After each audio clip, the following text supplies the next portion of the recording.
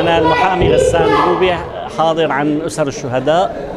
طبعا نتوقع هلا من المحكمة إصدار حكم الإعدام بحكم بحق هذا السفاح اللي أجرم بحق الأسر السورية وأسر الشهداء. هل لو ما تمش إعدامه ستو- ست- نفوت الحكم ولا تعمل مستحيل ما يكون تم إعدامه. إذا ما تم إعدامه حنحوله إلى محكمة لاهاي. لأنه ال- عنا الإثباتات كلها الجرائم اللي ارتكبها هو وأعوانه في سوريا. ضد الإنسانية ستطالبون بملاحقة العائلة. طبعا كل العائلة وكل الضباط يلي أمروا ال- العناصر في قتل المتظاهرين من أبرز من سيحاكم بعد بشار سيحاكم آه، ماهر أسد آصف شوكت ووزير وزيري الدفاع السابق وال- والنائب عنهم وأيضا وزير الداخلية. لنا لقاء اخر بعد المحاكمه شكرا. تفضل عرف نفسك معلش إحنا كنا بنحاكم بشار والحمد لله تم الحكم باعدامه نعم. ما هي الخطوات التي سوف تقومون بها في ال- في القريب العاجل؟ طبعا آه، أول شيء آه، مبروك لشعب سوريا بالحكم هذا. آه، إنه خلصنا من السفاح الموجود في سوريا.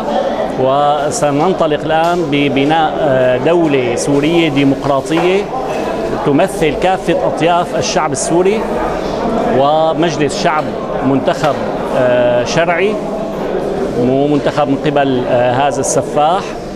وأيضا وزير إعلام يتمتع بشفافية ومصداقية.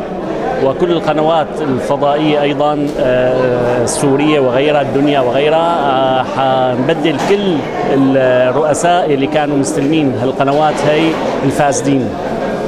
آه، بالنسبة للدول العربية طبعا نحن بدنا نقيم علاقات طيبة مع الدول اللي ساندت الثورة. و حاذكر لك إياها بالاسم. أول شيء آه، طبعا آه، قطر إلى دور كبير وقناة الجزيرة. آه، دولة المملكة العربية السعودية البحرين الكويت. طبعا علاقات حتكون مميزة لأنه هي دعمت الثورة وسحبت سفراء من هذا النظام الفاسد. بالنسبة للدول الأوروبية طبعا آه، إن حنقيم علاقات طيبة مع الدول الاتحاد الأوروبي تركيا الأساس آه، أمريكا آه، ألمانيا وفرنسا وكل هذه الدول. أما بالنسبة للدول الباقية آه، ستكون العلاقات آه، حسب الظروف اللي حتحكمها ال- العلاقات مع هذه الدول.